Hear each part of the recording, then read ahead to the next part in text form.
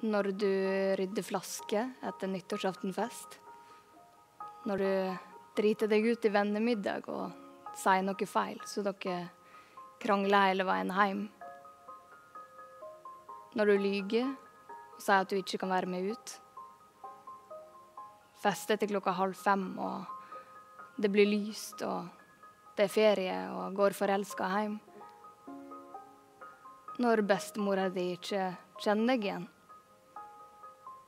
Når du vasker ut av barndomshjemmet.